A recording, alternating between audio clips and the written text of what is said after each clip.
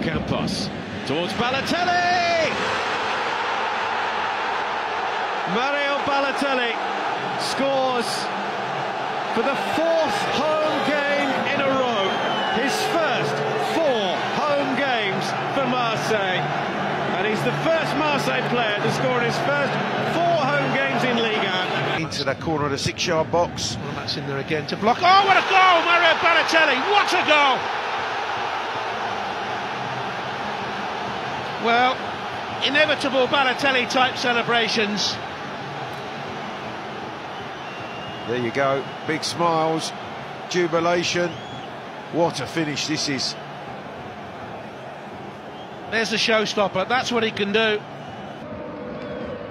Flick done by Thauvin for Balotelli on the turn. Quality. And it's clearly just a mocking celebration between Thauvin and Balotelli.